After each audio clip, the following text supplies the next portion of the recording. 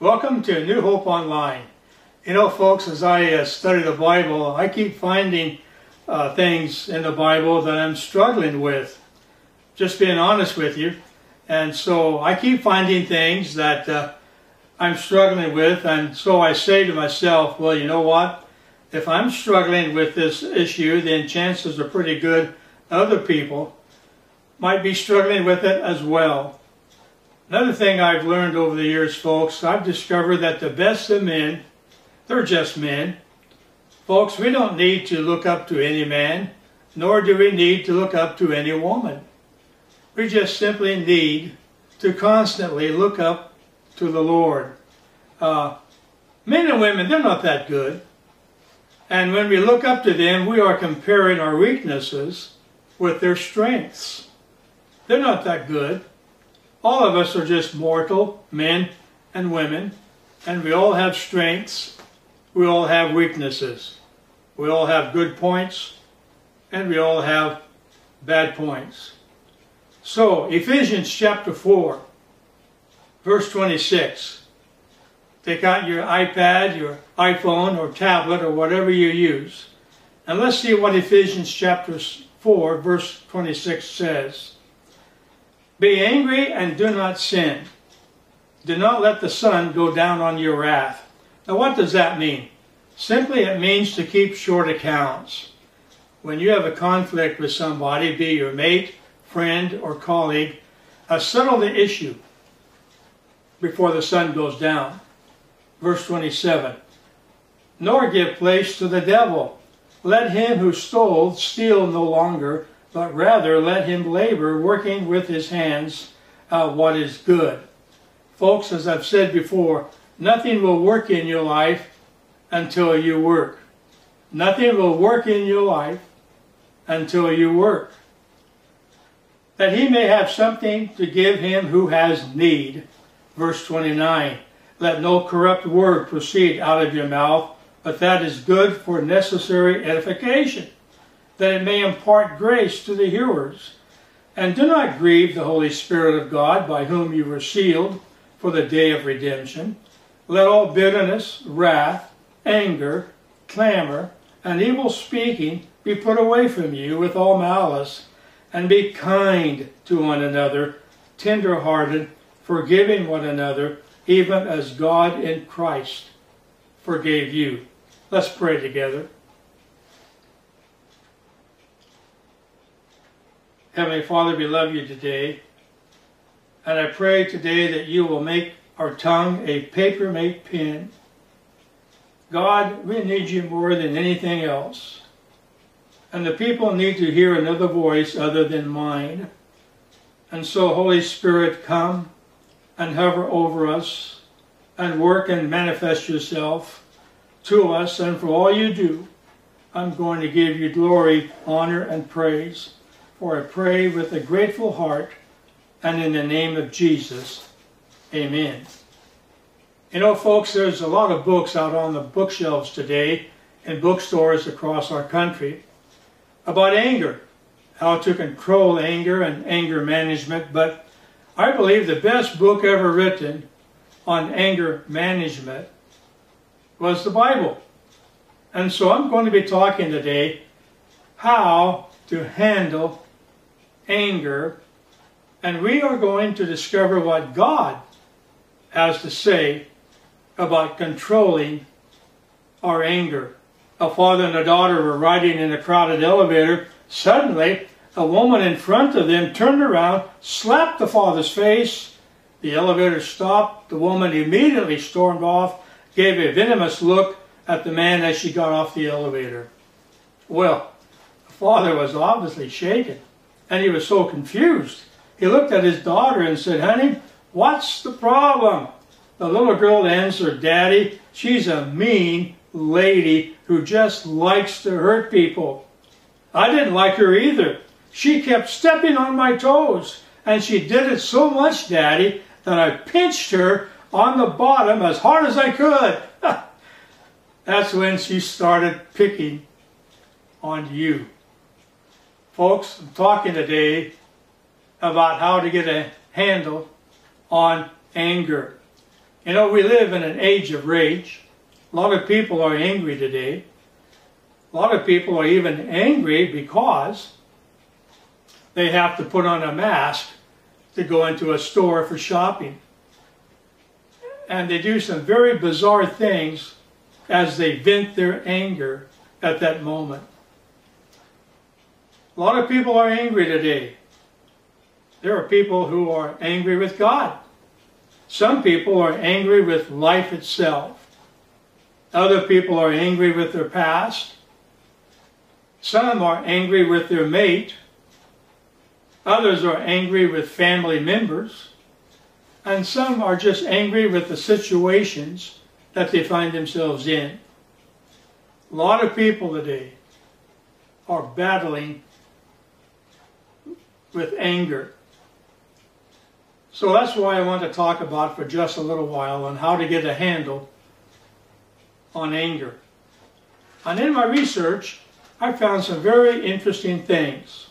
I found out that the average woman gets angry and loses her temper three times a week. The average woman loses her temper and gets angry three times a week. The average man, he loses his temper six times a week. Women get angry at people, and men get angry at things. Things like computers, machines, mechanical things. Women get angry at people, but men get angry at things. Women are more verbal in their anger, and men are more physical in their anger. Women get angry at people, men get angry at things, women are more verbal in their anger, and women talk about their anger. And men, they get more physical in their anger. Another thing I found that was quite interesting was that single adults express anger twice as much as married adults do. Single adults express anger twice as much as married adults do. I've heard people say over the years, Dale, I'm unhappy.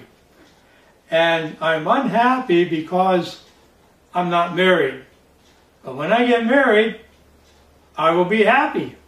Well, I've got a news flash uh, for these people. That doesn't lead to anybody's happiness. They just have this destination disease.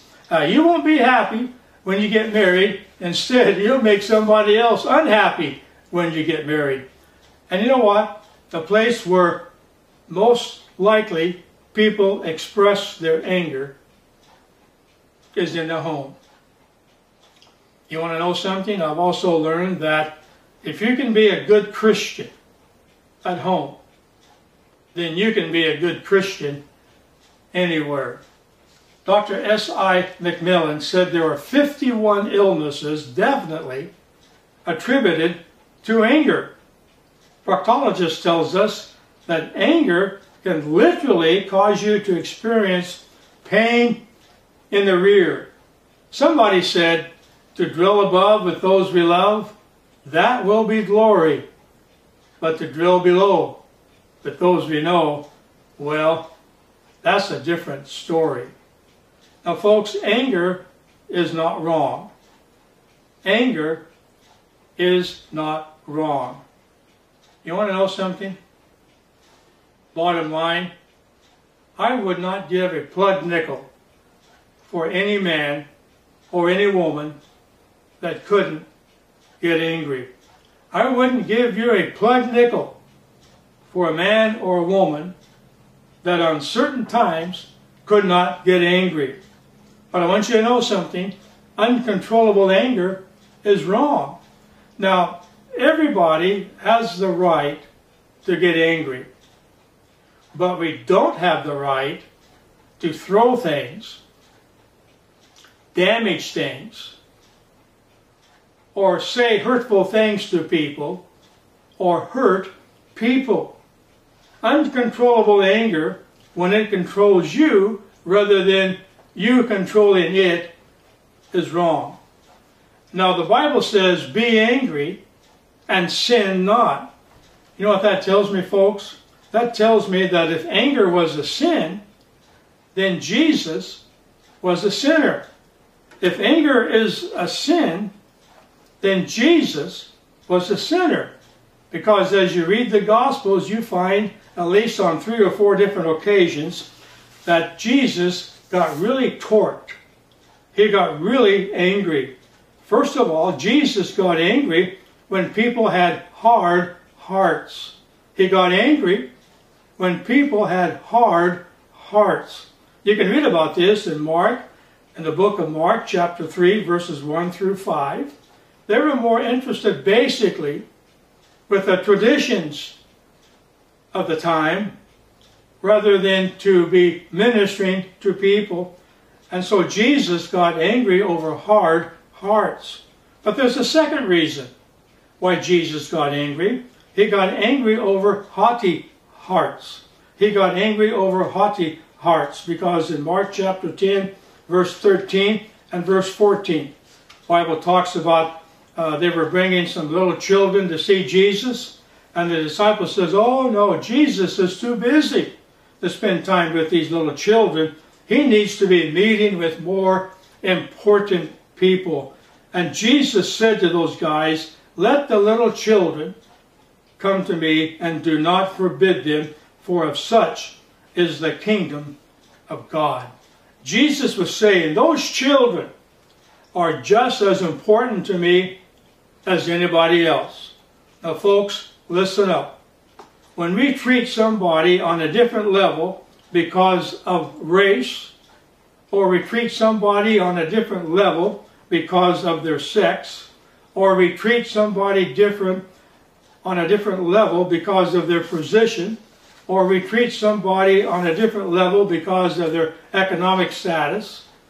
We treat somebody on a different level because of their popularity. We deem that they are more important than somebody else. I want you all to know something. There's nobody more important than anybody else to the Lord Jesus Christ. God loves all people. God loves all people. Now, there are people in the Christian culture that can strut setting down. But that's wrong because God loves all people. Jesus got angry over hard hearts. He got angry over haughty hearts. And I tell you something else. If you read chapter 11 of Mark's Gospel, Jesus got angry over hypocritical hearts. He came to the temple one time, and they had turned it into a Walmart Blue Light special. Now let me tell you, what he did, he came in there, and he started turning the tables upside down. He took out a whip, and he put it to those guys' backside. You gotta understand something. If you ever have in your mind that Jesus was some wimp of a man, Jesus was just the opposite. Jesus was a man's man. And when he went into the temple that day and saw that these people had turned it into a Walmart blue light special, he got angry. He turned the tables over and he said to those guys, You made it about the wrong thing. You made it about the wrong thing. You made my house about the wrong thing, he said. You made it about gold instead of making it about God. You made it about silver instead of making it about souls of men. You made it about money when it should be about men. And you made it about pleasure when it should be about prayer. Now, let me tell you something, folks. Let me tell you something, folks. They were buying and selling for their own gain. But not only was he upset over what they were doing, he was upset over what they were not doing. he said, Because my house should be called a house of prayer. He did not say his house would be house of worship. He did not say his house would be a house of uh, proclamation of the gospel, but he said four times, My house ought to be a house of prayer. My house ought to be a house of prayer. And so, folks, this is what I want us to see. There's an anger that we ought to have. There's an anger that we ought to have. It ought to anger us, folks, when we see young girls being sold into sex trafficking. It ought to anger us when somebody's treated less than because of the color of their skin. It ought to anger us when people go to bed hungry every night while we have so much. It ought to anger us that we live in a country that says we ought to redefine marriage. We ought to redefine marriage. Folks, listen up. We don't need to redefine marriage. God has already defined what marriage ought to be. Those things ought to anger us. Okay, somebody might say, well, Dale, you're just narrow-minded. Well, listen up again. I don't want to be any narrow-minded than the Lord Jesus was. And I want to preach what God teaches. Psalm 97.10 says, You who love the Lord hate evil. Now there's a healthy anger, but I want you to know something. There's also an unhealthy anger, and it's expressed in four ways it's expressed in number one is what I call machine guns. You say, well, who are the machine guns? These are the people who just mow you down. They cut you down. They just let you have it. They're walking time bombs. 60% of the homicides in our country are committed by angry family members. Everybody's on pins and needles when they walk into the room because at anything they will explode. They will explode at the drop of the hat and they will drop the hat, folks. They're just machine guns. They are literally walking time bombs. Cain was such a person in the Bible who lost control of his temper. In Genesis chapter 4, verse 5, he goes out, he's full of rage, the Bible tells us, and he kills his brother. They are machine guns. But not only do people express anger being machine guns, but number two, they express their anger by being mute. You say, well, what does that mean? What are the mutes? They don't blow up. They just clam up. To be sure, they are angry, it's burning deep inside of them, but they don't speak for a week. They do something that's called pouting. They're angry and they're pouting, and they want everybody to know they're pouting. They want everybody to know uh, that they are angry and they are pouting. Number three, they are the martyrs. Well, who are the martyrs? Well, they are the ones who are full of anger, and they have a pity party. And here's what they say. It goes something like this. Well, when I was back in the third grade, everybody got a cookie in the class but me. And that's why my life turned out the way it has. So I'm going to have a pity party. I want everybody to know how wrong I was back there in the third grade. And so I'm going to throw a pity party. Folks, the only thing about these pity parties, nobody comes to the pity party and no one brings the gift if they do come. How can you tell a martyr? I'll tell you how you can tell a martyr. Because what is anger? What is depression? Depression is anger turned inside of us. It's anger turned inward, and before long they are depressed because they are a martyr. Now, there's a fourth way we express anger in an unhealthy way, and that's the manipulators. So, Dale, what are you talking about? A manipulator? I'm not going to get mad, they say. I'm just going to get even. I'm not going to get mad. I'm just going to get even. And they use indirect ways to get even. They will drop indirect statements and they will give jokes, sarcastic jokes.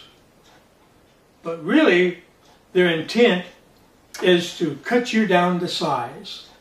You know anybody like that in your relational world? They want you to cut you down, and then uh, you will say, Well, that really hurt me what you just said. And then they will say, Well, can't you take a joke? They never meant it to be a joke. They were intentional, malicious in the way they express their anger toward you. They are manipulators, and their whole objective is they want to hurt you and they want to get even with you. Now, here's what we all need to understand. You say, well, Dale, I'm becoming aware that I do have a problem controlling my anger. Maybe I need to go see a psychiatrist. Maybe I need to go see a therapist. I really want to try to understand the steps of anger. Well, I'll tell you what, folks, I got some good news you can use today. And if it doesn't apply to you now, maybe it will later downstream. Or these are transferable concepts that you can use to pass on to someone else who might have a problem battling anger in their lives. I'm going to give it to you free. You don't have to pay 150 bucks to a therapist. What are the steps the Bible says that we need to take to bring our anger under control? In these next few moments, I'm going to say how we can put an anger under control from God's point of view. What are the steps? The Bible tells us, you see, everything uh, is said and done, we get back to the Bible. After everything is said and done, we discover the Bible is the foundation of everything. The best anger management book in the Bible is the Bible. The best anger management book. It's the Bible, folks. As I've said before, we need the Word of God. And what we need is teachers and preachers, not our philosophy, just to teach the Word of God. That's what we need. Just preach the Word of God. This is why I say over and over at New Hope, I want people to know your Bible. The Bible tells us the steps, and it all begins with bitterness. All begins with bitterness. Now, what is bitterness? It's somebody has done me wrong feeling. That's what it is. It's when you feel like somebody has done you wrong. And this is what I want you to understand. What you feel may not be real, but it's real to you. And when you feel like somebody has done you wrong, Hebrews chapter 12 verse 15 talks about the root of bitterness. See to it that no one comes short of the grace of God, that no root of bitterness springing up causes trouble, and by it may be defiled. Bitterness is where it starts, folks. And then it moves from bitterness to wrath. The Old Testament was primarily written in Hebrew. The New Testament was primarily written uh, in Greek. The word wrath there comes from the Greek word and it means to burn. In the Greek, the word wrath means to burn. And what it does is it just burns you up on the inside. The more you think about it, the madder you get. Have you ever found yourself in a situation where you felt somebody did you wrong and you replied to yourself, that just burns me up on the inside. Starts out with bitterness, moves to wrath, it just burns you up, and then it goes to anger.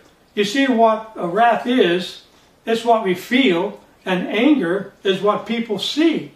Wrath is what we feel, and anger is what people see.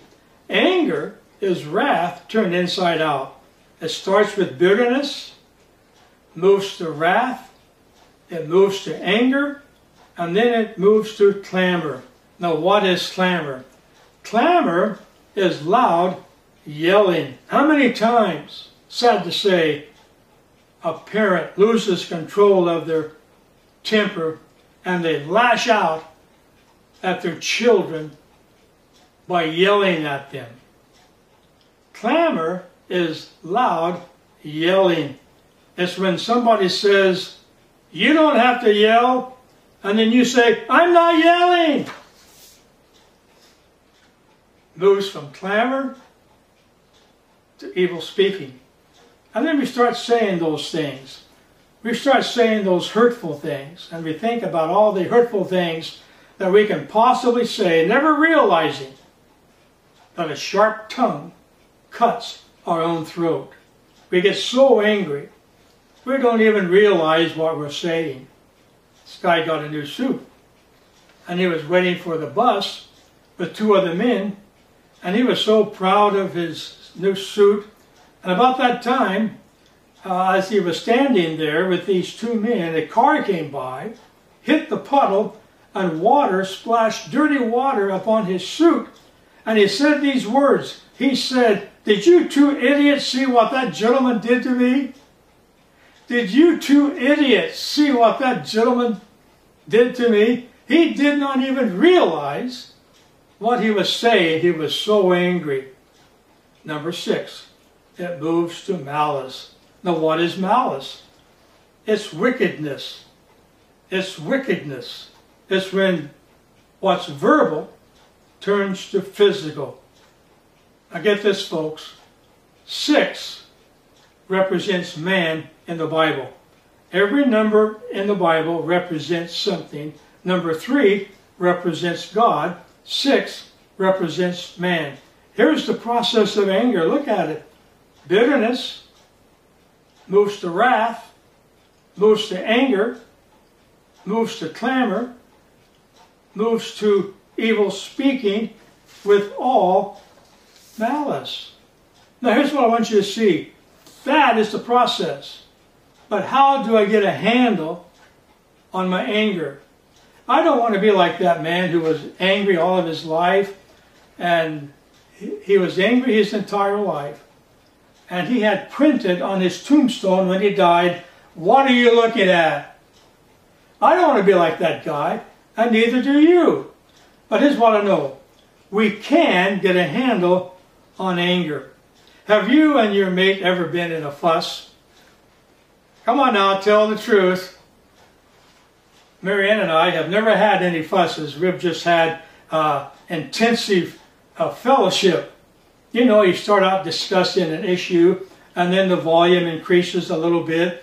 Uh, they raise the level up an octave and you raise your level up uh, higher octave than they just spoke and the uh, volume goes up and up and before long it gets really, really loud and you find yourself yelling at one another and uh, you probably have been there and if you haven't, you probably will. But you know, an amazing thing happens right in the middle of that heated dialogue where both of you are yelling, the telephone rings. Hello. Well, how are you? Well, everything's just fine here. Ever been there? I'm sure most of us have. How can I get a handle on anger? There's six quick steps that we can take. Number one, calculate. When you lose your temper, you always lose. When you lose your temper, you always lose. When I was a boy and I would lose my temper, but my mom uh, would help me find it. But when you lose your temper, you always lose. It might be respect. It might be a relationship.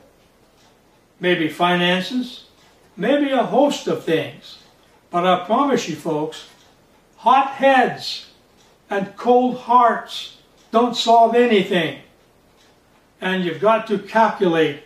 You've got to realize now what is my anger going to cost me before I explode.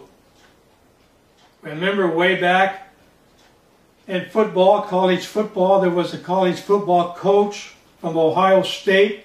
He won five national championships. He won 238 games. He was a coaching machine. But one decision cost him everything.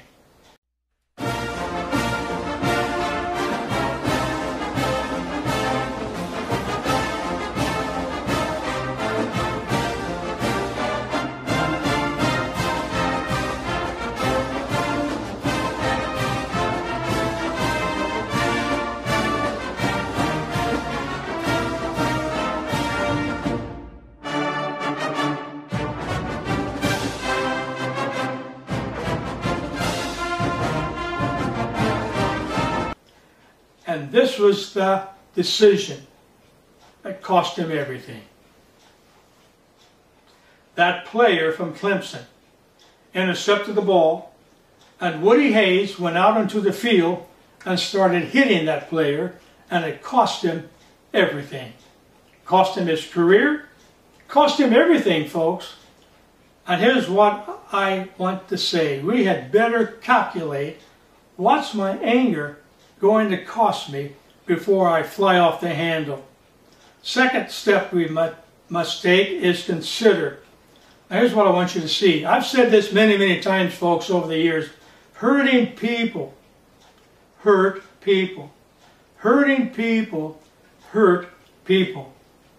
Many times when somebody lashes out at you, it's simply because they have hurt in their own lives.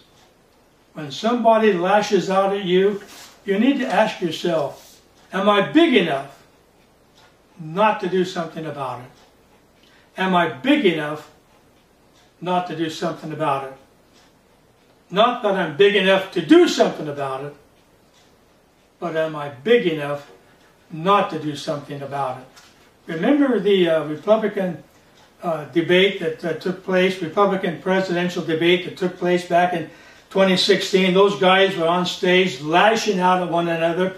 And then Dr. Ben Carson said, I think it takes more strength not to do that. Dr. Ben Carson said, I think it takes more strength not to do that. Not are you big enough to do something about it, but are you big enough not to do something about it? There's a third step, and that is to confront confront. What do I mean by confront? Simply say to yourself, I've got to be honest with myself. I've got to own up to this anger problem that I have. I do recognize I have a problem with my anger. I get angry, I say things I shouldn't say, and so I've got to confront it. Then there's a fourth step. That is, I've got to confess it. I've got to confess it. You know what confess means? It means in the Greek, you simply agree with God that it is sin. I've got to confess it to God. I've got to own it. And then I've got to say, God, I am wrong about my anger problem. I have an anger problem, God, and it is wrong. And God, I need your help. I've got to confess it to you and then there's a fifth step that we take, and that is to commit. I've got to say, Lord, I need your help. I need your Holy Spirit. Folks, it's a great day in our lives when we realize there's no good in you or in me. There's an old gospel song that says, If any good is found in me, is just because of Calvary. Folks, if anything good is found in any of us, it's because of Jesus. There is no good in any of us It's only because of Jesus. And what we have to do is we just have to say, we've got to commit and say, Lord, I need you. I need your Holy Spirit. I need more of your Holy Spirit in my life. I need a fresh anointing of your Holy Spirit in my life. Look what the Bible says in Galatians chapter 5 and verse 22. But the Holy Spirit produces love, joy, peace, patience, kindness, goodness, faithfulness, gentleness, self-control. Against such things there is no law. So folks, we need more of the Holy Spirit. We don't need more self-control. We need more of the Holy Spirit. That's why on a regular basis, we need to say, Lord Jesus, I need more of your Spirit. I need more of your Holy Spirit. I need a fresh filling of your Spirit. I need a fresh a filling of your presence. I need your Spirit more than anything else in my life. You see, folks, this is a tube of toothpaste. And uh, I don't know why they call it toothpaste. Uh, I think they ought to call it teeth paste. But I've got this tube right here, and I've never used it before. It may sound silly to you, but I can put it under the faucet, and I couldn't get any water to go into the, this tube of toothpaste or teeth paste. I couldn't get any water in it. I couldn't get it to dilute down, and the reason I couldn't, folks, is because when you push it, what comes out is toothpaste, teeth paste. I gotta tell you something, folks. If I'm full of the Holy Spirit, when you push my buttons, what's going to come out? The Holy Spirit, the fruit of the Holy Spirit. But sad to say, some of us are not full of the Holy Spirit. Other stuff comes out when someone pushes our button. Because we're not full of the Holy Spirit, stuff comes out that shouldn't come out. Words are coming out, they shouldn't come out. Statements are coming out, they shouldn't come out. Because we need to be filled with the Holy Spirit more than anything else, folks. We need the Holy Spirit of God operating in our lives. And so we calculate, we consider, we confront, we confess, we commit, but there's one other step we need to take, and that is change. You know, part of pastoring is watching God change lives. We've had many people baptized over the years at New Hope. And what are people doing when they're baptized? They are forming their identity as a member of the bride of Christ. It's not like the little girl who asked her pastor to advertise her. The truth of the matter is, that little girl was right. Baptism is an advertisement. It's kind of like this wedding band uh, that I wear. The wedding band does not make me married. I could have put it on before I was married. But it's a symbol that I am married. I am identifying as a married man and I'm married to Mary Ann. And see, folks, when you come to know Christ, He becomes your identity. And if your identity, listen closely, is based on anything else, then you are going to struggle with insecurities. See, all of our insecurities are the root of our anger. All of my insecurities are the root of my anger. See, your security can't be your job because you can lose it. Your identity and your security can't be your good looks because that will fade. It can't be your mate because they may die or leave. It can't be popularity because that will pass. It's got to be in Jesus, my friend, or you will care too much about the approval or disapproval of other people. You've got to change and realize that my self esteem is based upon my identity with Jesus. Now, here's what I want you to do as we wrap up this message.